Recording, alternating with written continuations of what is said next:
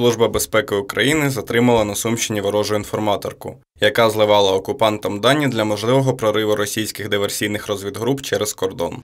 Зловмисницею виявилась проросійськи налаштована мешканка Сумського району, яка активно поширювала власні антиукраїнські дописи у заборонених однокласниках. Деструктивний контент фігурантки привернув увагу представників спецслужб країни-агресора, які згодом дистанційно залучили жінку до співпраці. У разі успішного виконання ворожих завдань окупанти обіцяли своїй поплічниці безперешкодне оформлення російського громадянства з перспективою подальшого виїзду до Російської Федерації. Для збору розвідінформації жінка об'їжджала місцевість на громадському транспорті і приховано спостерігала за українськими об'єктами. Також вона втемну використовувала своїх знайомих, у яких під надуманими приводами розпитувала новини про бійців сил оборони у прикордонних районах. Отримані відомості ворожа інформаторка передавала рашистам з детальним описом через месенджер.